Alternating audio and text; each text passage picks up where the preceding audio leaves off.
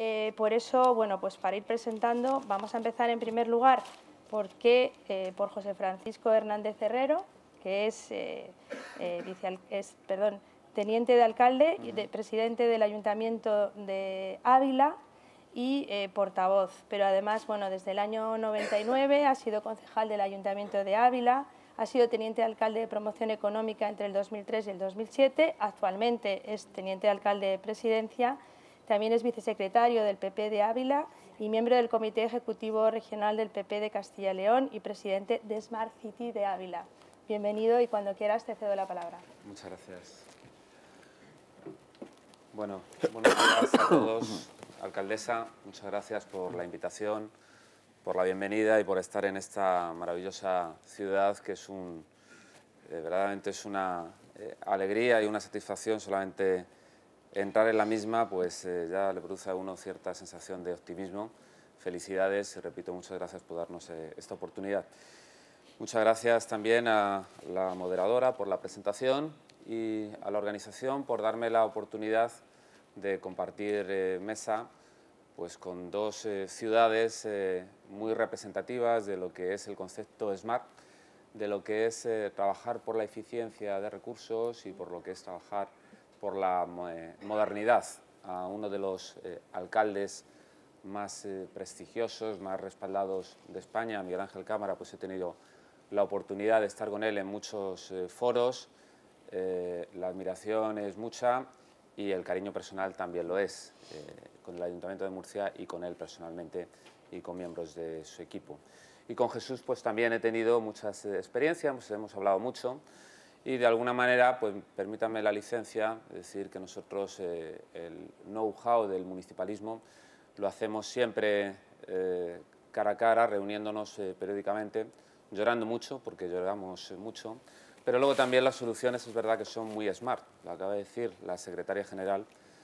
Eh, se mira siempre con lupa a los ayuntamientos, pero siempre somos los más proactivos, los más adelantados, los más avezados y cuando hoy entraba en el centro de congresos eh, iba saludando y me iban recibiendo con, eh, con muchísima educación y la verdad de, de forma muy grata y mi compañera Carmen, que esta mañana salimos precipitadamente de Ávila con algún que otro percance, estamos aquí, pues estaba al teléfono atendiendo cosas propias de la, concejalía. Quiero decir que la vida municipal es eh, muy dura, eh, la inmediatez eh, tiene que ser necesaria y por eso creo que el concepto SMART va directamente relacionado con el municipalismo. El concepto Smart City tiene que ver también con la competitividad, es decir, en un contexto globalizado, eh, tiene que haber nuevos modelos económicos, nuevos modelos eh, productivos.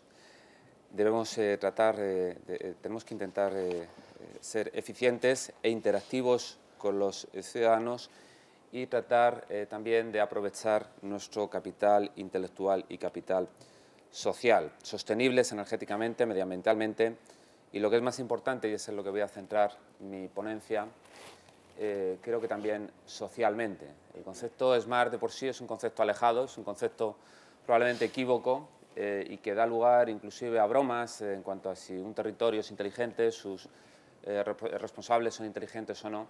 Me parece que lo más importante es la capilaridad, ser capaz de implicar socialmente a la ciudadanía y a las empresas en el concepto Smart City. Por eso la importancia de estos eh, foros.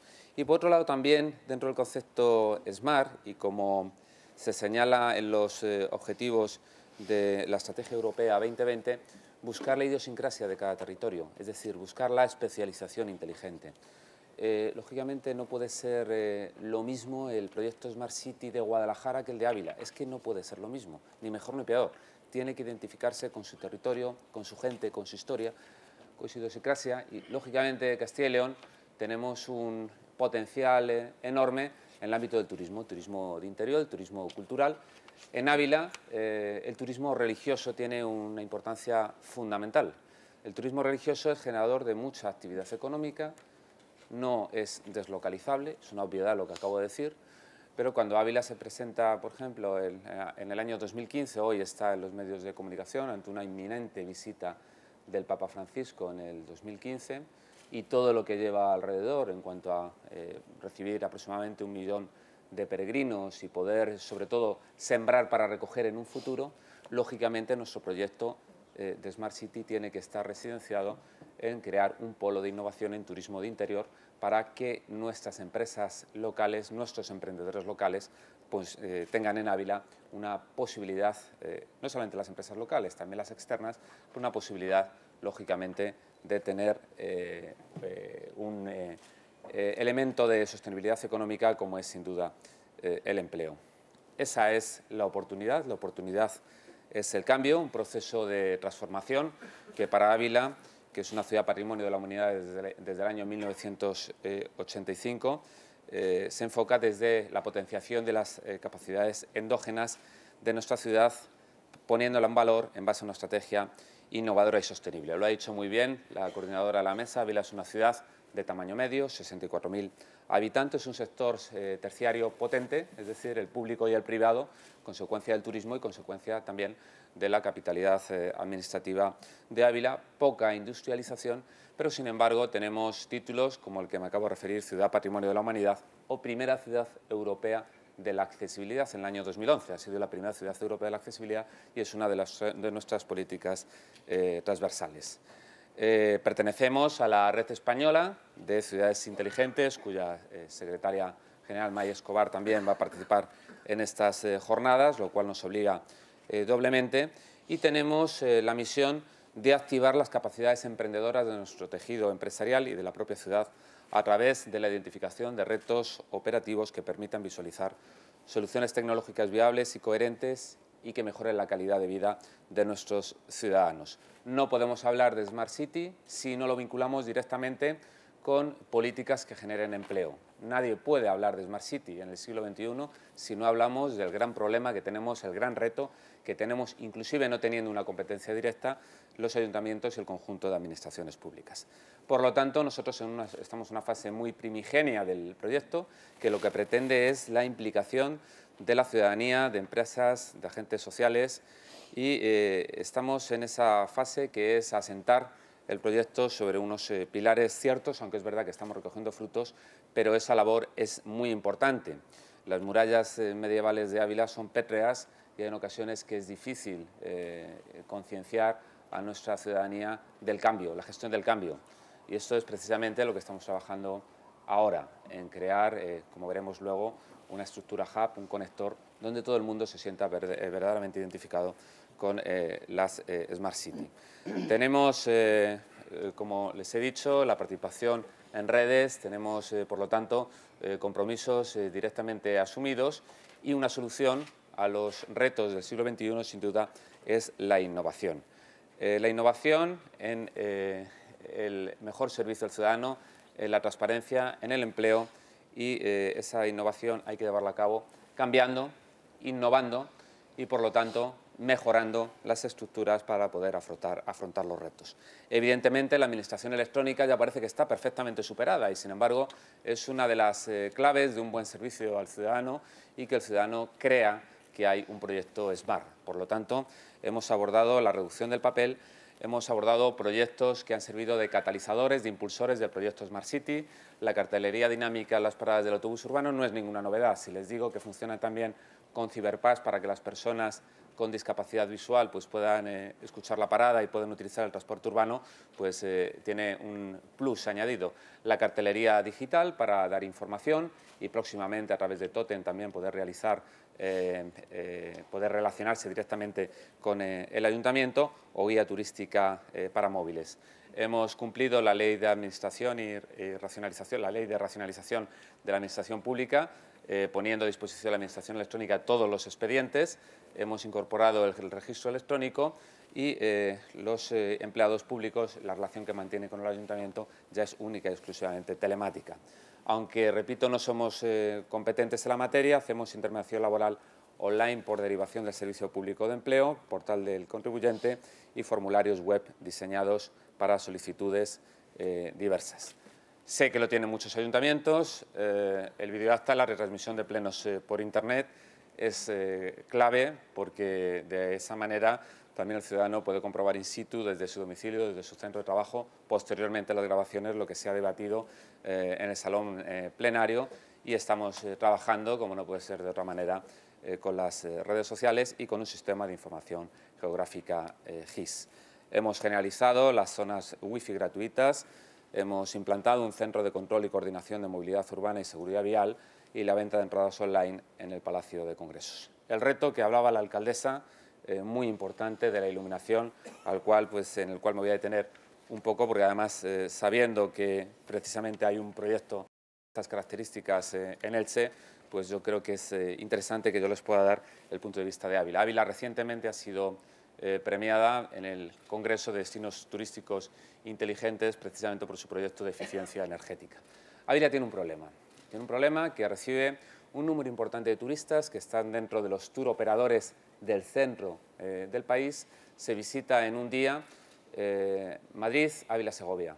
Eh, en Ávila para los autobuses en la Dársena, el centro de recepción de visitantes, van al Arco de San Vicente, uno de los arcos de la muralla, se acercan a la casa natal de Santa Teresa, vuelven y en dos horas han visto Ávila y regresan a sus autocares para dirigirse a Segovia, donde comen el cochinillo de Segovia, perdiéndose uno de los eh, placeres gastronómicos españoles por antonomasia, que es el chuletón de Ávila.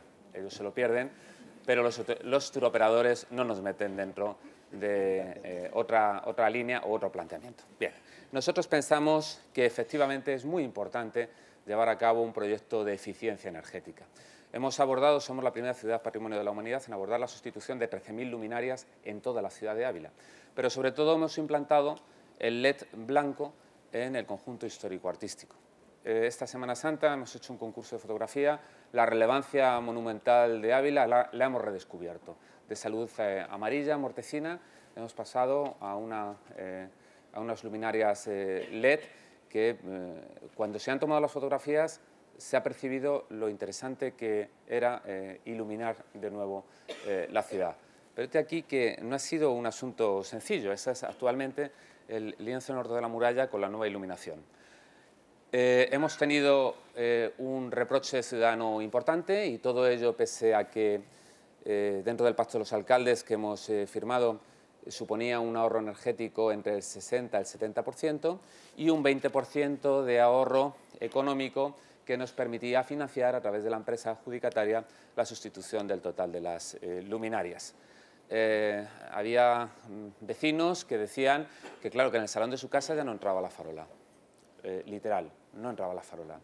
Y que las calles estaban oscuras, no, ya las calles no están oscuras, ahora mismo se ilumina con el LED, se ilumina en el ángulo descendente y se ilumina lo que se tiene que iluminar. Y las fachadas que tienen relevancia histórica, pues por supuesto que se están iluminando, pero eh, lógicamente no es, es un cambio total eh, y absolutamente de concepción en cuanto a la iluminación. Hemos hecho una campaña que ha empezado por la negación, por el enfado, la queja, la depresión, finalmente el compromiso. Oiga, nos han premiado, qué buenos somos, qué valientes han sido y realmente, además, eh, ya lo decimos como bandera, hemos tenido la oportunidad de redescubrir Ávila.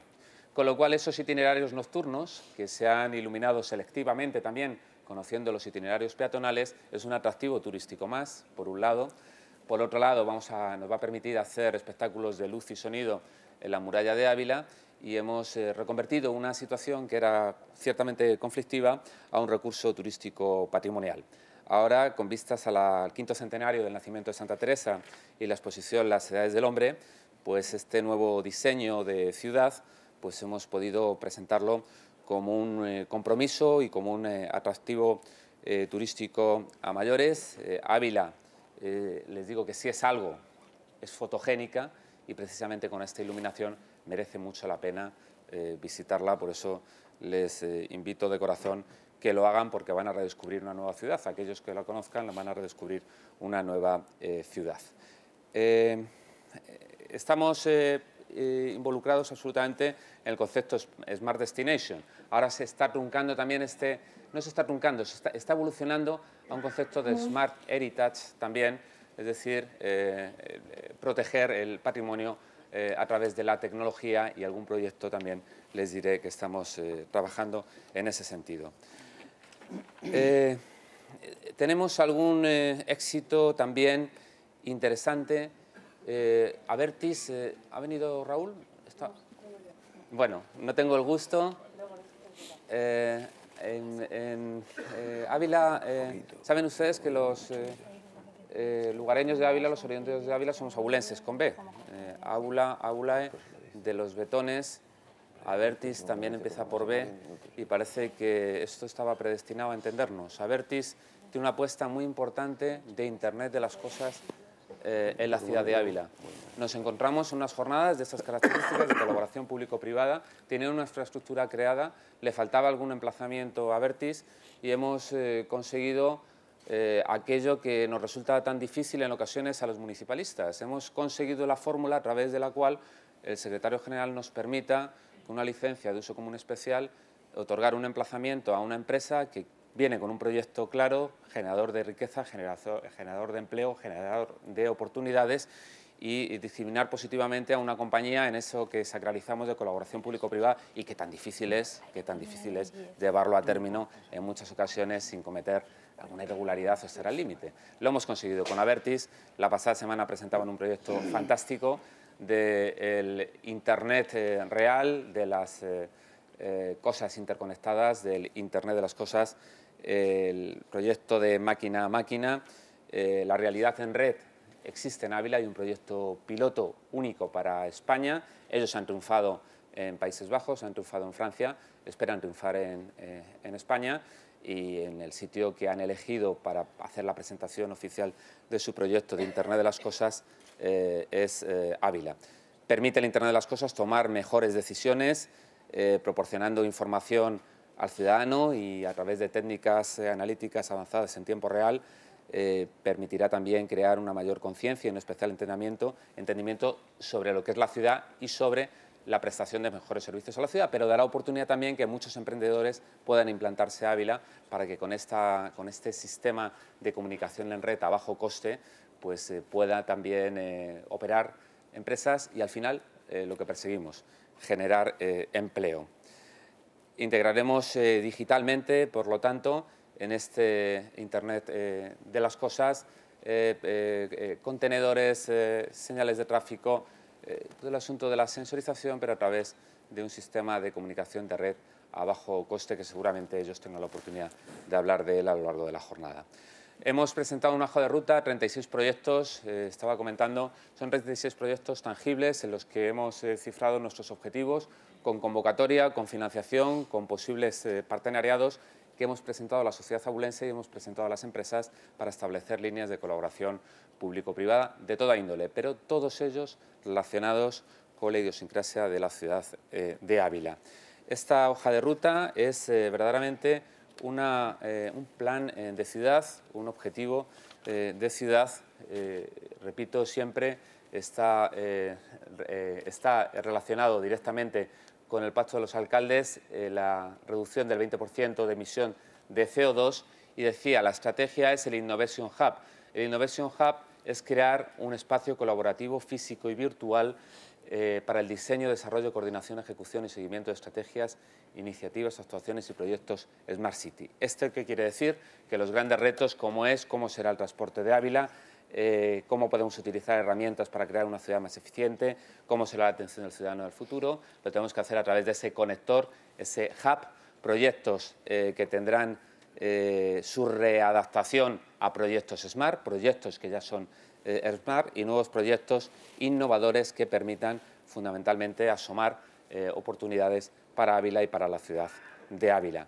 Ávila es una ciudad comprometida con el cambio SMART, eh, los espacios, los lugares públicos, la parte privada, que incluye a las universidades, las asociaciones, el tejido eh, asociativo de la ciudad de Ávila, las asociaciones empresariales, los sindicatos y la parte pública. Quiero acabar con una cuestión que le comentaba antes a la coordinadora y que para mí es una de las eh, partes más importantes del triunfo de un proyecto SMART. Debemos fomentar la reflexión estratégica de la ciudad desde un enfoque Smart City. Esto creo que se va a decir a lo largo y ancho de la jornada. Esto es indudable. Debemos promover la, instauración de un proceso continuo de planificación. Esto eh, también, eh, digamos que es relativamente sencillo, obvio y, mm, francamente, el papel pues, lo soporta bien. Pero tenemos que gestionar muy bien las competencias organizativas eh, necesarias. es imprescindible el liderazgo de la autoridad eh, local, es imprescindible, en el caso de Ávila es evidente que es así, que el alcalde esté absolutamente convencido que hay que afrontar los retos SMART, pero el conjunto de la organización. Hay que gestionar muy bien la implicación de todas las áreas eh, concernidas en el, concepto Smart City, porque un concepto Smart City es un concepto de ciudad, es un proyecto de ciudad y no es un concepto de ciudad para el 2014 ni para el 2015, que sabemos todos los políticos lo que ocurre en el 2015. Debemos planificar en el 2020, para el 2020. Y eso requiere generosidad, implicación de toda la corporación, conciencia de equipo y esa es una tarea muy importante, también muy dura eh, y en ocasiones eh, que tiene muchas aristas, que hay que gestionar convenientemente. Y, en resumidas cuentas, promover la incorporación adecuada de las nuevas tecnologías en el entorno urbano y la creación de capital social y garantizar eh, la transparencia. Ya a cabo, eh, nos enfrentamos a un, eh, un, momento en el que es clave afrontar los retos con dos conceptos que parecen antagónicos. Debemos, por un lado, competir, pero a la vez debemos colaborar competimos con otros territorios, pero debemos colaborar no solamente con otros territorios para conocer lo que eh, se está haciendo bien y mal en otros sitios, sino también colaborar a nivel interno y a nivel externo. Esto es lo que nosotros entendemos por una eh, ciudad inteligente. Eh, una ciudad es un conjunto de personas interconectadas y no solamente, no solamente el concepto Smart City tiene que estar directamente relacionado con la tecnología, sino verdaderamente con un sentimiento de ciudad, con unos objetivos de ciudad. Y Ávila eh, ahora mismo es eh, un momento en el que debemos dar lo mejor de nosotros mismos. Tenemos un reto muy importante con el quinto centenario el próximo año de Santa Teresa de Jesús. Y se escribe eh, mm, teniendo claro que somos una ciudad orgullosa de nuestra historia, de nuestro patrimonio, de nuestra idiosincrasia. Y queremos escribir nuestro futuro sobre la piedra de la muralla respetando su pasado, para abordar los retos desde la coherencia también, el liderazgo y la modernidad. Muchas gracias.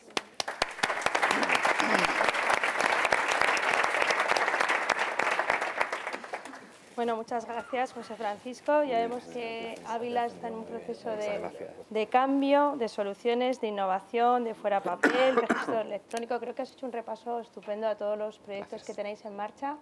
La iluminación nos a mí me ha fascinado y aceptamos tu invitación para ver el show de luces y, colorido en la muralla y tomaremos ese chuletón, eso por supuesto. Faltaría más. El siguiente ponente es eh, Jesús Ruiz Tutor, que es el teniente de alcalde y concejal de Medio Ambiente, Aguas y Urbanizaciones del Ayuntamiento de Logroño. Ha sido director general durante seis años de la Autónoma de La Rioja y ahora lleva dos legislaturas en el Ayuntamiento de Logroño siempre relacionado con temas medioambientales, por lo tanto es un experto en esos temas y en todo lo que es las tecnologías y la información. Él ayer se definía o se autodefinía como un politécnico porque nos comentó que era técnico por la mañana y político por la tarde, cosa que debe ser un poco difícil de, de combinar, pero seguro que nos puedes contar tus proyectos y cómo utilizáis esa información en provecho y beneficio de la ciudad y de los ciudadanos. Cuando quieras, Jesús. Muchas gracias. Eh, gracias, eh, por supuesto, a la organización, gracias a la alcaldesa. Pedirte disculpas que no ha podido venir nuestra alcaldesa, Cuca, pero eh, no ha podido ser. el día a día y, el, trabajo continuado de la mina del ayuntamiento, que a veces, pues bueno, pues cuando lo vemos un poco desde fuera, pues, pues nos permite también reflexionar un poco, pero el trabajo del día a día pues no es fácil no nos lo pone fácil, no os lo pone fácil y, el esfuerzo que ha habido que hacer y que va a haber que hacer para el próximo futuro en el cambio de modelo que estamos, porque o cambiamos nosotros, todos los que estamos aquí, o el cambio se nos llevará por, delante, el, modelo pasado ya no sirve. Eh, yo he visto bastantes solares que están vacíos aquí. Eh, antes, cuando nos faltaba dinero, pues calificábamos suelo y ahora pues no podemos gestionar la ciudad con el dinero del suelo, no existe. Y es el dinero de los vecinos, y los vecinos y las vecinas votan y se enfadan y por la mañana exigen, eh, entienden cuando se les explican las cosas, pero quieren que se les expliquen las cosas. y a veces, pues, eh, ¿qué os voy a decir? Pues que no las explicamos bien. Yo, como soy politécnico, me puedo permitir el lujo de meterme con los técnicos, porque no hay peor cuña que la de la misma madera. Em, yo les digo a mis compañeros, les digo, no es normal, no es normal, ahora los políticos pues están en el punto de mira de los ciudadanos y los vilipendian cada día, porque seguramente nos lo hemos merecido y nos lo hemos ganado a pulso, pero no estamos haciendo la reflexión siguiente en el proceso, y tú trabajas en la administración pública como yo, en el proceso que veamos normal que haya un ciudadano que tenga que contratar una empresa de consultoría para relacionarse conmigo como funcionario, como técnico que le tengo que prestar un servicio.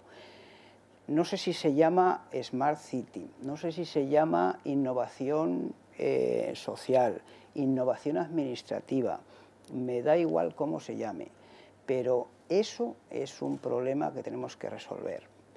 Nosotros tenemos en la ciudad de Logroño casi 900 funcionarios, somos, o sea que vivimos con 100 menos que antes de la crisis, tenemos en estos momentos un presupuesto de 145 millones de euros. Eh, teníamos hace cinco años 220, o sea que vivimos con 65, 70 millones de euros menos que hace seis años o ocho años, que se dice pronto. Eh, prestamos más servicios, atendemos los servicios. Esto nos tiene que hacer reflexionar algo, mm, nos emborrachamos hace tiempo y ahora eh, estamos en el proceso de la resaca y tiene que venir un cambio. El cambio yo creo que el primero es, eh, es estructural interno, porque si no, no podremos relacionarnos con los vecinos y con vosotros, con las empresas, para que hagáis negocios en nuestra ciudad. Eh, ahora está de moda eso de la economía circular, que hay que cerrar los ciclos cortos en el espacio en el que convivimos. Luego, si da tiempo, entraré para eso pero antes de eso tenemos que organizar la casa de dentro y es una obligación que tenemos nosotros internamente en los ayuntamientos y en las administraciones locales, eh, lo tenemos que hacer. Eh, el funcionamiento hasta ahora es vertical eh, y ha funcionado bien. La ciudad de Logroño es una ciudad normal, ha funcionado, mm, la basura se recoge, eh, los, parques y los jardines, según MAI, funcionan de maravilla, tenemos unas flores espectaculares. Aprovecho para deciros que tenemos la rosaleda más importante que hay en España y que tiene más variedades de, rosas, y si no, lo puedo demostrar, o sea, es demostrable. Em, mm, la iluminación funciona, el tráfico funciona, y cada uno tiene su contrato su contrato. Yo tengo mi contrato. Eh, esto es de medio ambiente, esto es de arquitectura, esto es de movilidad. Yo llevo los edificios, yo llevo esto, yo llevo lo otro. Eh, y cada uno tiene su base de datos. Eh, os lo voy a poner un ejemplo. En estos momentos en Logroño se está atendiendo el teléfono desde 1, 2, 3, 4, 5, 6, 7, 8 sitios. Policía, centro de control de tráfico, el 010, bomberos, el medio ambiente en dos sitios no, no es razonable. Y cada uno eh, gestiona la llamada, la atiende, da el servicio, lo presta, si es al gestor o si es al vecino, lo que sea, lo hace bien, no digo que no lo haga bien, pero no hay interrelación. Eh, Cuca si va, nuestra alcaldesa va a mediodía y quiere dar eh, con un clic el saber ¿Cuáles son las quejas que ha habido pues en estos momentos de los riesgos de los jardines, que la gente se, o del baldeo de las calles, que la gente se enfada porque lavamos en, la, en el casco antiguo pues las calles eh, con agua a presión, porque si no, no hay manera de, baldearlas y quieren que lo hagamos por la noche, pues no sabe las quejas que ha habido con un golpe de clip. Se lo tienen que procesar y lo tiene que pedir. Eso no es normal. No es normal.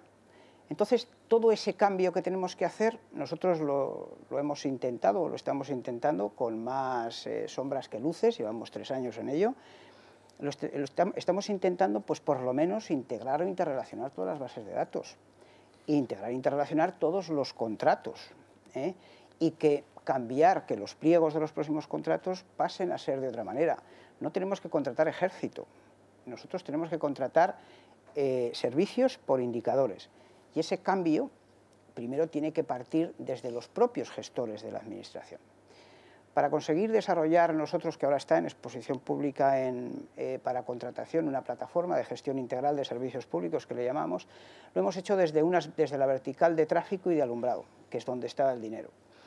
Lo hemos tenido que hacer, para hacer ese pliego de contratación, lo hemos tenido que hacer con personas que no son las que llevan esos contratos, porque no quieren.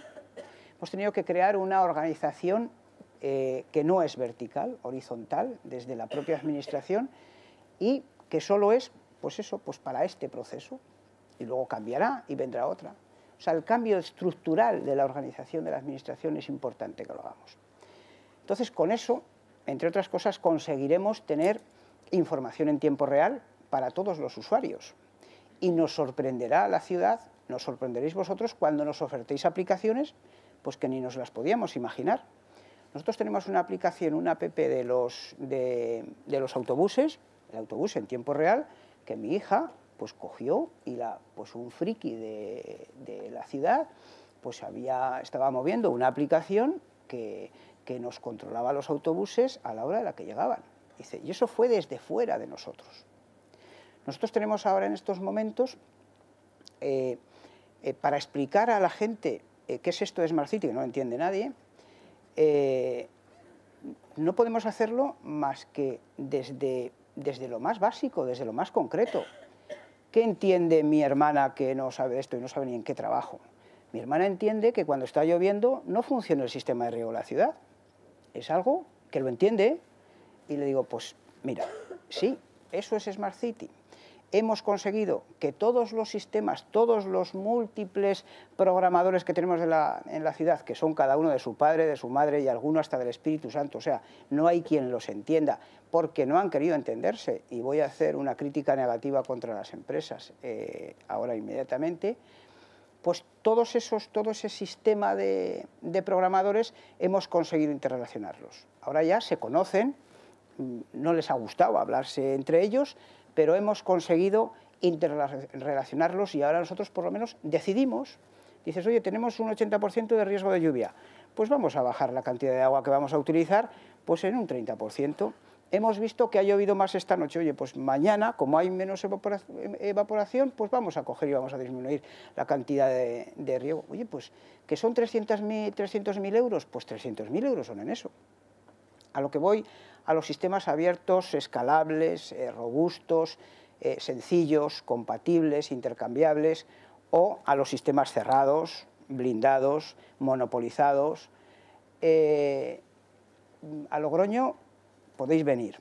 Si venís con algún sistema cerrado, incompatible, oscuro, caro, que normalmente encima dependiente, injusto, injusto, no vengáis no vengáis.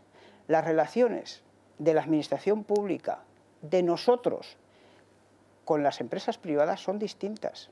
Tienen que cambiar. Tienen que partir de la base de la honestidad. No puede ser que en Elche te salga muy bien el contrato y ganes mucho y en Logroño pierdas y tú compenses. No. Cuando vienes a Logroño, estás a riesgo y ventura con lo que pasa en Logroño. Y vives y estás casado en Logroño, en todo ese proceso. Eso es muy importante porque al final la relación de las empresas con los servicios y con los vecinos es una relación intensa, es una relación de familia, es que es el servicio que prestas cada día. Y eso tiene que cambiar y tenemos que buscar fórmulas, yo creo que la ley de contratos pues no sé si lo permite lo suficientemente, y en la red estamos haciendo a través de un grupo de trabajo de sondear fórmulas de relación público-privada con la ley de contratos que sean mucho más fáciles para que nosotros, en nuestro caso, que ponemos la ciudad como, como lugar de laboratorio de investigación, de nuevos desarrollos que están en esa fase, que ya, están, ya están, han salido del laboratorio, pero que necesitan testarse en el territorio. Bueno, vamos a asumir riesgos eh, todas las partes. Vamos a ver qué fórmula encontramos.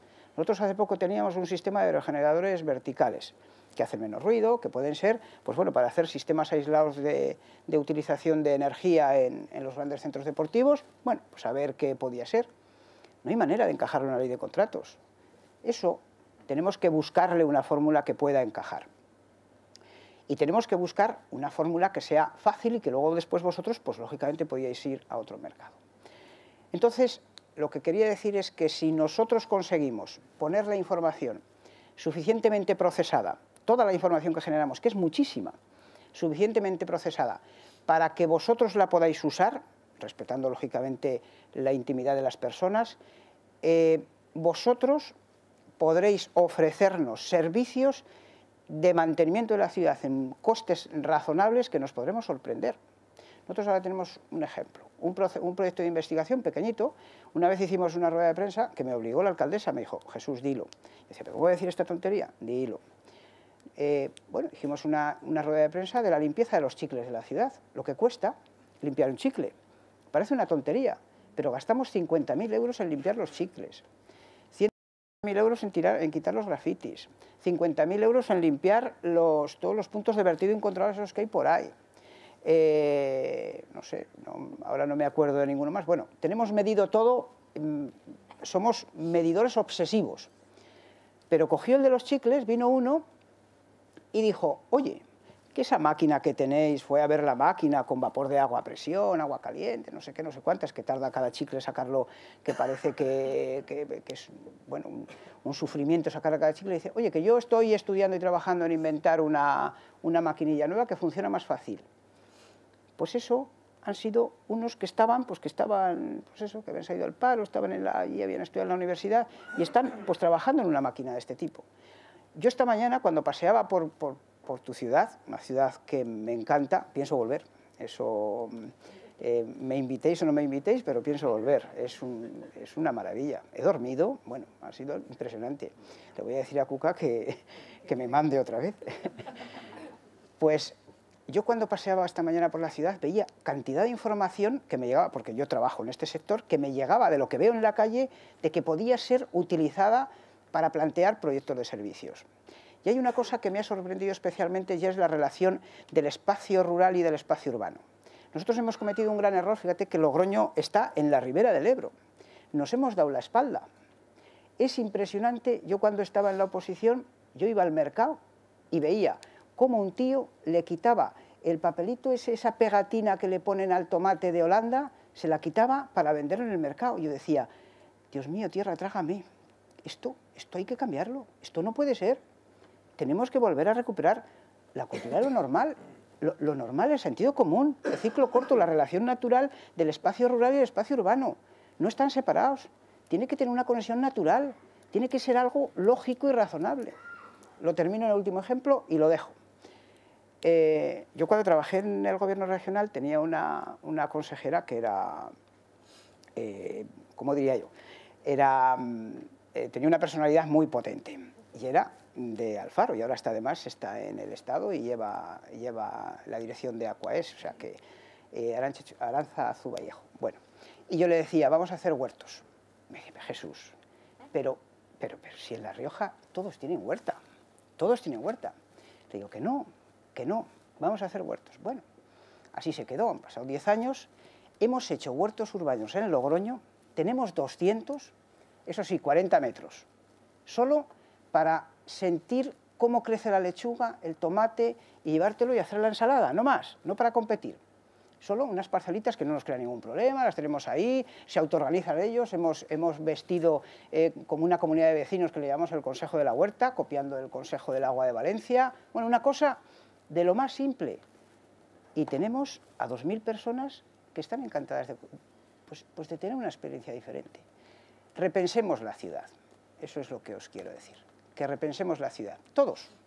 Nosotros, que ya nos toca, los políticos nos lo exigen, los funcionarios nos lo tenemos que mirar, lo digo también, y vosotros las empresas también. Muchas gracias.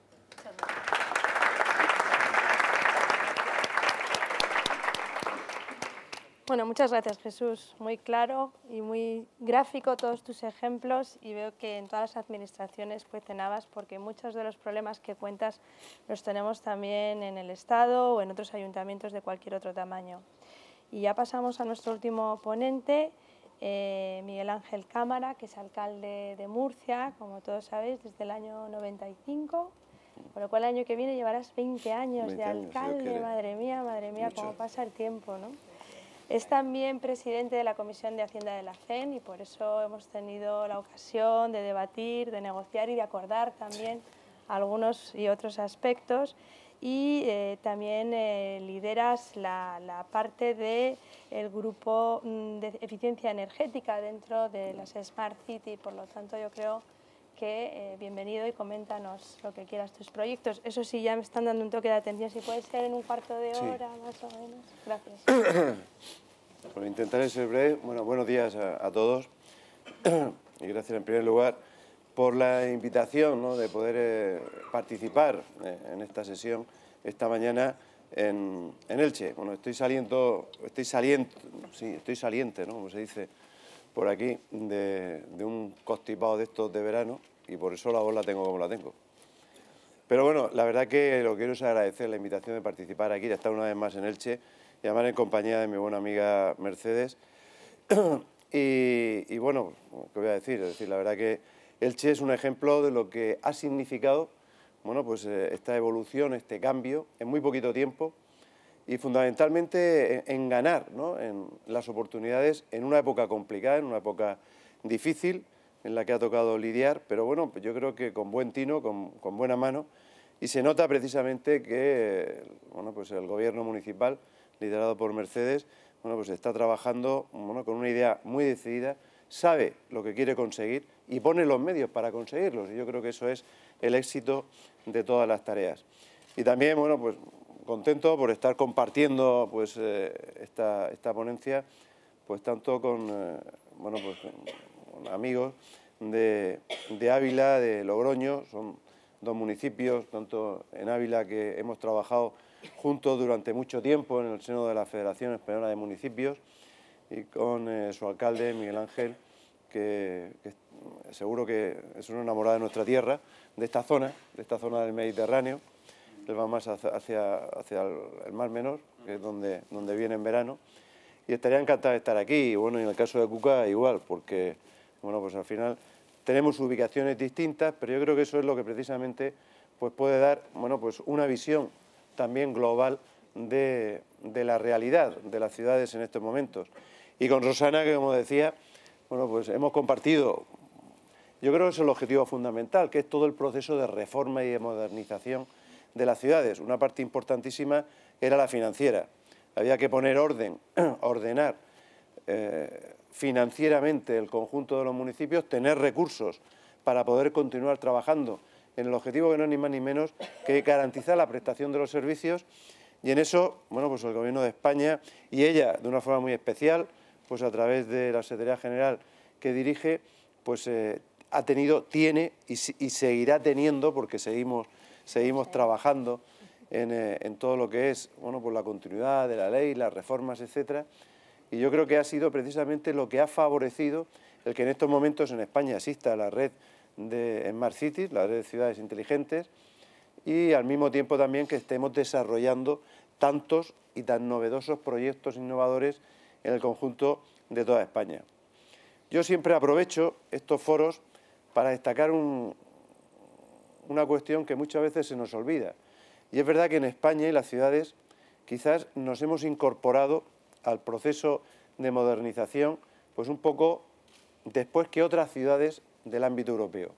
Pero en estos momentos, el conjunto de ciudades españolas estamos liderando y somos referentes a nivel europeo, que es lo mismo que decirlo a nivel mundial, porque la innovación, el desarrollo en las ciudades es precisamente en Europa.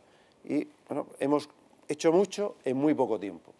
Y eso es precisamente gracias a que la mayor parte de los alcaldes, las alcaldesas, es decir, esa iniciativa de mejorar lo que es la prestación de los servicios se ha ido realizando eh, bueno, pues, eh, en muy poquito tiempo de una forma también eh, muy intensa. Y cuando hablamos de ciudades inteligentes, yo, la experiencia que tengo, cuando yo empecé a tener alguna responsabilidad municipal, lo que se hablaban eran de ciudades abiertas, el concepto de ciudad abierta, participativa, Luego vino el concepto de ciudad verde, todas las ciudades éramos verdes. Luego sostenible, el concepto de sostenible. Si uno quería que le financiaran un proyecto, tenía que llevar al lado el apellido sostenible. Y hace no muchos años apareció el eh, inteligente, el smart. ¿no? Yo creo que Ámsterdam fue un poco el referente a nivel europeo, de los primeros premios, y ahora pues todos somos pues inteligentes, es decir, esto es, va, va un poco como con los tiempos, y cualquier proyecto, cualquier cuestión, pues tiene que ser smart project o, o lo que se le quiera poner luego el otro adjetivo en otro momento. Y es verdad, bueno, pues al final, en todo momento, siempre ha tenido, bueno, pues un eslabón similar. Y es que lo que se quería era mejorar la prestación de los servicios con criterios de eficiencia, de eficacia y de participación ciudadana. Yo creo que son los tres elementos básicos para poderlo desarrollar. Y luego, desde ese objetivo, utilizando los medios que tenemos a nuestro alcance. ¿Cuáles son esos medios? La tecnología. lo que eh, en todo este ámbito nunca podemos perder de referencia que al final la ciudad inteligente es el resultado de aplicar proyectos, políticas y acciones en los diferentes ámbitos que normalmente desarrollamos en la ciudad. Y no puede convertirse o no debe convertirse en un fin en sí mismo la aplicación de tecnologías. Ahora mismo estamos todos enloquecidos, más o menos, bueno, con el tema de los sensores, de los datos, es decir, y muchas veces al final hay tal cantidad de datos que no somos tampoco capaces de sacar provecho de esos datos. Ni tampoco el tener tantos datos es un criterio eficiente, sino tiene un coste que muchas veces el coste no se corresponde con el beneficio que se va a aplicar. Y por eso es importante tener acomodado lo que significa la tecnología, aprovechar las tecnologías de la información y la comunicación a la gestión de los servicios en todo su ámbito. Si hablamos de la recogida, bueno, los básicos de la ciudad, la recogida domiciliaria de las basuras, bueno, pues eh, efectivamente hay una serie de indicadores que nos va a permitir hacer más eficiente, más rápido, a menor coste y por lo tanto también medioambientalmente bueno, más sostenible ese servicio y aplicar esos desarrollos. Nosotros aquí, y compartimos en Elche, en Murcia o en Alicante, bueno, compartimos quizás eh, bueno, pues las más modernas tecnologías aplicadas a la gestión del agua. Como no tenemos agua, aquí lo que gestionamos es la falta de agua. Aquí no podemos programar, como lo años, si llueve hay más o menos. Aquí, vamos, aquí lo que hace es, el día que llueve, pues, le das al botón y cortas el riego. Pero vamos, una vez o dos veces al cabo del año.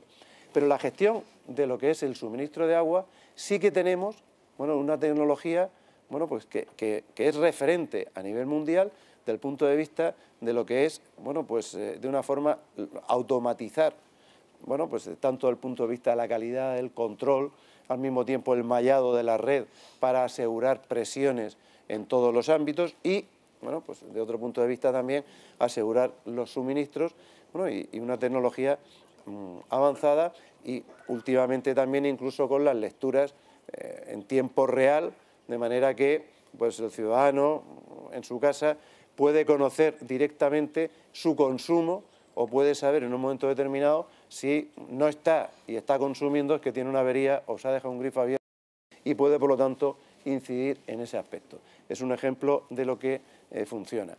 Nosotros en Murcia, que estamos coordinando en el ámbito energético dentro de la red española, bueno, pues estamos desarrollando proyectos de eficiencia energética.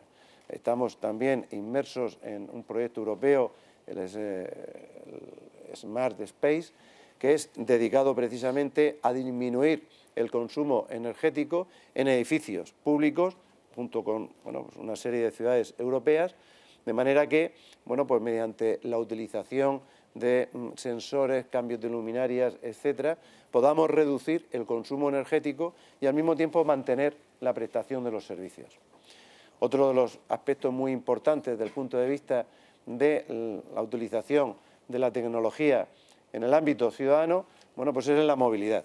La movilidad en todos sus aspectos, tanto de la movilidad de lo que es la movilidad que todos conocemos, en sistema de autobús eh, público, a través de lo que en un gran número ya de ciudades están, con las aplicaciones a través de los smartphones, donde podemos tener en tiempo real, bueno, pues tanto desde el punto de vista de lo que son los itinerarios también, como el poder realizar y recargar, bueno, pues las tarjetas de viaje, etcétera.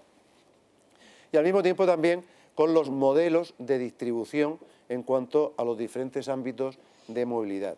Es decir, el poder, bueno, pues integrar pues tanto los datos de vivienda como los datos de trabajo para saber en tiempo real lo que son la movilidad necesaria en el ámbito urbano de quienes viven en la ciudad y salen a trabajar fuera o quienes viven fuera y vienen a trabajar dentro.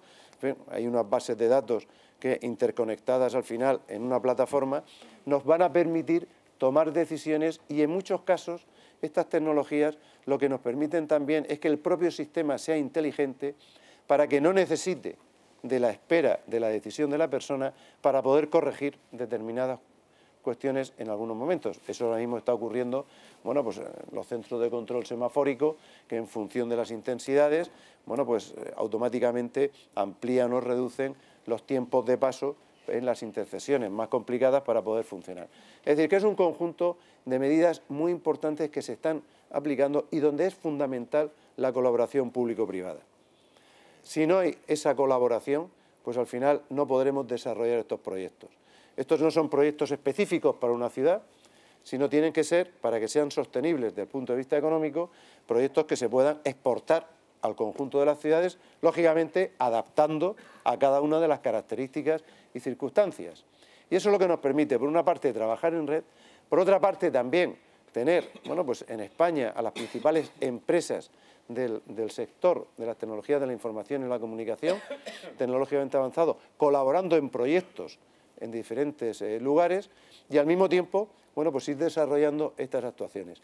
Pero siempre desde el punto de vista de que no nos dejemos mm, perder en la cantidad de datos que podemos obtener, pues esto sería siempre infinito, siempre buscaríamos más, sino los que realmente necesitamos para tomar decisiones. Y en algunos casos incluso tomar decisiones de no poner esos sistemas en funcionamiento.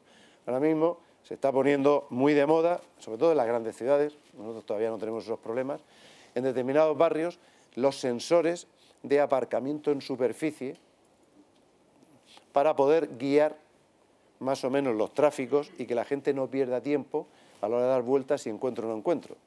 Bueno, pues eso tiene unas ventajas indudablemente porque se puede dirigir, igual que ahora mismo, bueno, pues esa información de aparcamientos eh, clásicos, ¿no? Eh, eh, vigilados están y uno cuando llega a una ciudad pues ve los paneles y ve pues tantas plazas libres en un sitio o en otro y te puede guiar y no es necesario dar vueltas. En superficie, en determinadas zonas, bueno, pues es una ventaja porque guía, pero también es verdad que como eso es muy relativo, es decir, y por lo tanto las rotaciones son muy rápidas, pues a uno lo puede guiar a un lugar y cuando llegue ya en ese momento no hay plazas. porque entonces, bueno, son cuestiones que en algunos sitios se están planteando, bueno, pues hacer experiencias para poderlo aplicar y luego ver si es viable o no es viable. Nosotros, y ya termino, hemos, estamos ahora mismo utilizando también una aplicación eh, para que la puedan utilizar los ciudadanos y sirva también para la toma de decisiones desde el punto de vista de la actividad económica.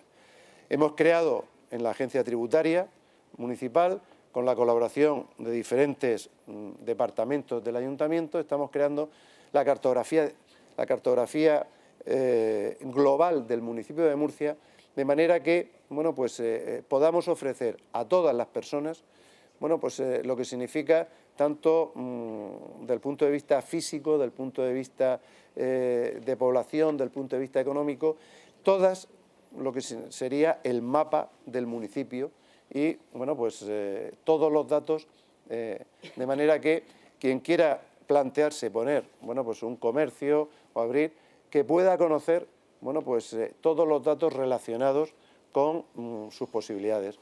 Eh, número de personas que viven, si es una zona de más tránsito o menos tránsito, número de comercios y actividades relacionadas o no que existen en ese mismo lugar.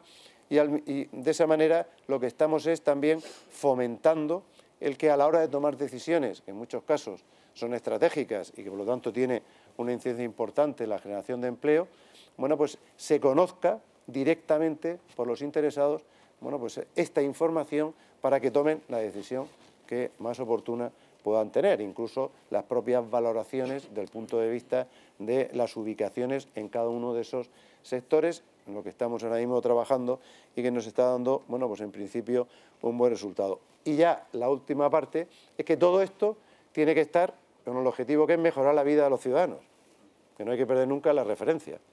Y por lo tanto, para que se mejore, tenemos que contar también que esa plataforma sea abierta, de manera que también las personas que viven en la ciudad puedan tener bueno, pues, eh, una participación activa y estos proyectos no sean proyectos solamente de un equipo de gobierno, sino sean el proyecto del propio conjunto de la ciudad, porque entiende que mejora también las prestaciones que recibe.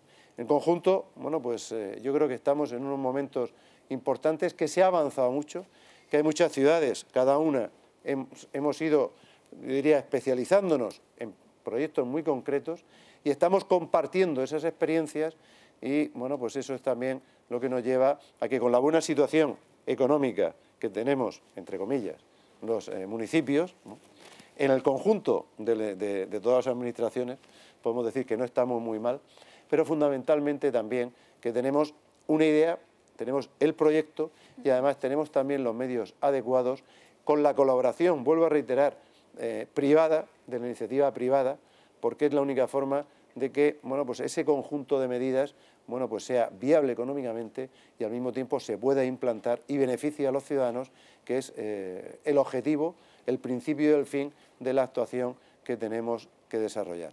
Ese es el trabajo en el que estamos haciendo, lo que queremos eh, seguir desarrollando y vuelvo a reiterar el agradecimiento para poder compartir esta mañana con todos ustedes y con tan buenos amigos como los que tengo aquí acompañándome. Muchas gracias. Bueno, muchas gracias Miguel Ángel. Muchos proyectos, muchos cambios, colaboraciones público-privadas. Yo por mi parte me quedo muy tranquila, veo que la administración local cada vez es más fuerte, más solvente, está ganando músculo, es innovadora, es moderna, cosa que también me satisface y va en pro de esa sostenibilidad y racionalidad que hemos pretendido con la reforma local. No sé si se habrá conseguido, pero por lo menos lo que hemos pretendido y creo que siguiendo colaborando juntos, pues por fin llegaremos a un resultado, como ya está viendo, satisfactorio, aunque todavía queda bastante por recorrer. Y nada más, gracias a, los tres ponentes, gracias a la organización y a todos los asistentes, y sobre todo gracias a la alcaldesa de Elche por su maravillosa ciudad y que también aceptamos su invitación. Vamos a volver a venir, a ver si podemos este verano disfrutar unos días de tranquilidad aquí con todos vosotros. Muchas gracias a todos.